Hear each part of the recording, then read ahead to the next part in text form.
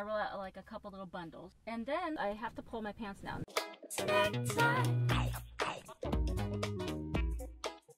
Hello lovers and welcome back to Travel Snacks. So when you are living in your car, traveling and doing road trips, there's to be times where you have to pee in the middle of the night. Now at home you can just get up, go pee and go back to bed. But when you're in your car and it's say 2:30 in the morning and you really have to pee and you can't hold it any longer, you have two choices. You can try to find a place that's 24 hours, which means you have to jump in your front seat, take your shades down, put your shoes on, drive somewhere, and hopefully it's a place that doesn't require you to buy something. And then you can go pee, and then you have to go back, find a spot, and go back to sleep. Or you can figure out a way to pee in your car. I have two ways that you can pee in the car, which only one of them I've tried. The first one is to use a Go Girl or a Shewee. It's like a female funnel. So you put it over your private parts and you stand up like a man and you pee. The problem with that is that you have to get out of the car, try to be inconspicuous, and pull down your pants. And usually if you're parked in a residential neighborhood, that's it's not going to be that easy. I mean, unless you're just in a rural area and in the middle of nowhere, which probably is not going to be the case. That's not something that I would be comfortable with. The second one is the way that I have had to do a couple times. I ordered a pee container. I will demonstrate how I use it.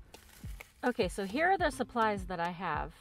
I have a Ziploc, and the first thing I have, it's a little trash bag that goes into the trashes in, say, a bathroom. So a little trash bag.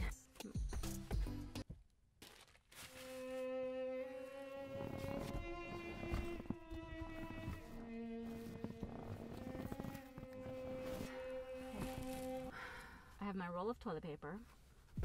I have a doggy pee pad that I got at the dollar store. And then I have my pee container. I got this on Amazon. I think it was less than $10. And it just opens like this. I clean this out every I clean this out every time I use it and I wash it and then I put paper towels in it just to keep it clean. I also sanitize it with antibacterial wipes and I wipe it and then I wipe the inside. This collapses and expands to as much as you think you need. The first time I ever used this, I used it with this amount. And I actually had so much urine that it reached almost the top. So I was like, dang, I really had to go. So the next time I just like popped it up a couple so it wouldn't spill out.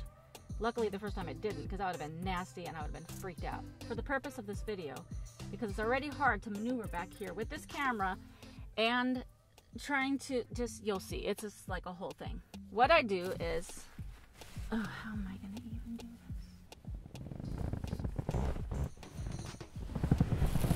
this okay so i roll out my toilet paper put it to the side and i roll out like a couple little bundles and then i have to pull my pants down Listen, you're watching a video about peeing and pooping in your car. I mean, that's pretty personal. You should hit the subscribe button, hit the notification bell, and put a like on this video because it was exhausting trying to make. And then what I do is I have to pull my pants down. Now I'm wearing underwear and I'm wearing biker shorts, so don't be alarmed.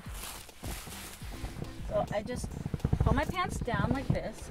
I would put this pee pad under here, which imagine like my underwear would be down too. And then you take this with this part out and you kind of have to rise up and position it to where you feel you know it's to have the most coverage and then you kind of just like lean forward it's exhausting you kind of lean forward and then just let her rip it's not super comfortable because you know as women we're not used to just having to pee like bending over like this okay so then you finish and then when you pull the thing up you just kind of slide it so that it you know captures all the trinklets.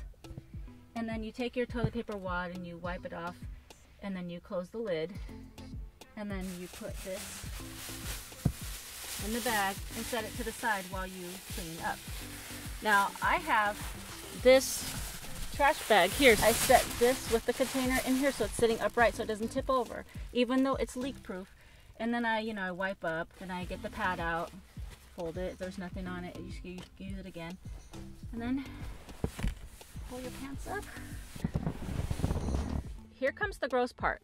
So then what you have to do is you take your urine filled container and you are going to have to, I mean, I guess you could wrap it up real tight into the trash bag and just kind of seal it up and leave it here until you wake up in the morning. But I don't like to do that because I think it's gross. So what I do is I unlock my car door, I open my back door, and I'm usually in a spot that's kind of like on a curb or like in a gutter area. I pour it out of the car on the side, not on the sidewalk, but on the street.